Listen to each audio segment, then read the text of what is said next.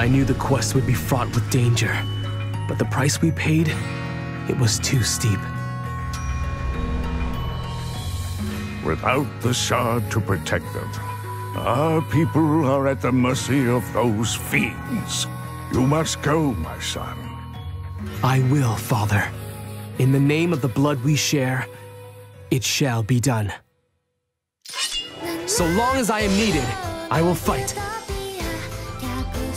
If you're ever to rule this kingdom, then you need to look after yourself, too. Are we gonna go find this dragon or not? Come on! We set off in search of the Great Worms, the mighty dragons who once fought alongside our kingdom's founder. The dragon's lair? It's in the Misthold. I know the way. Just try not to soil your royal britches before we get there. I have waited untold years for this meeting. I was soon blessed with loyal companions, and with their help, I hear you're venging, child of man. Now prove that your feeble flesh can withstand the dragon's supreme might.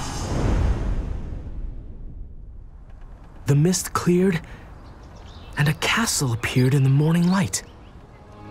But just as we claimed the shard, my world was turned upside down.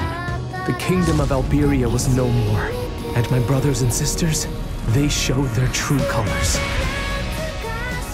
I was branded a traitor.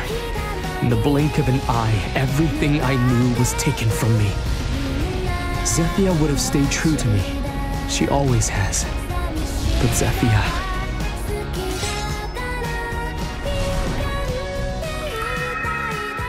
One day you will usher Alberia into an age of prosperity. Goodbye, brother. Be strong. Zethia! I've lost everything. But a dragon has woken within me. I will be strong, Zethia. Dragalia lost. Make a pact with me. Here and now.